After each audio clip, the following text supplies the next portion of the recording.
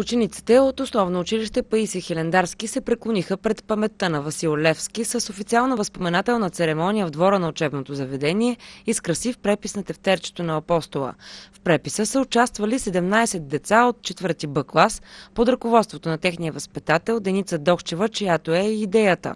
Госпожа Дохчева сподели, че децата с радост са участвали активно в преписването на тефтера, като целта й е била да ги откъсне от ежедневните компютърни игри и да обогати знанията им за най-големия национален герой Васил Левски.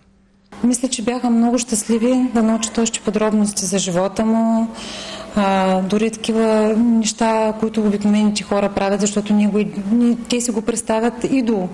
А, ние го идеализираме, той е апостолът и сега изведнъж те го видяха като един човек от народа, най-обикновен, който е можел да записва и рецепти за лекарства и най-обикновени неща от ежедневието си.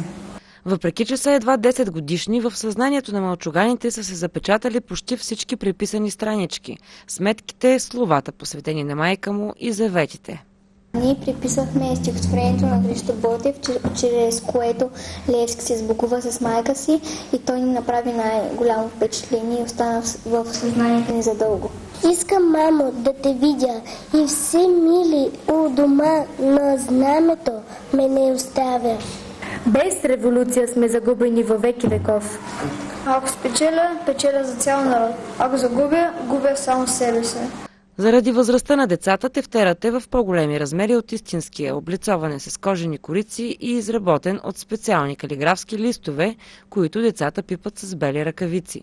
Казамъжкото училище е едно от малкото в Средогорска област, което почита обесването на Васил Левски на исторически вярната дата 18 февруари.